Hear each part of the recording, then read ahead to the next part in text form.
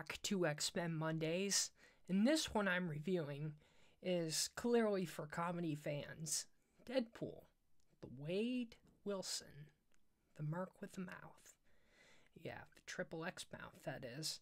And Deadpool has made a lot of money and blew away expectations what an R rated comic book movie is, and an R rated comedy too, because it changed the way how people would push boundaries.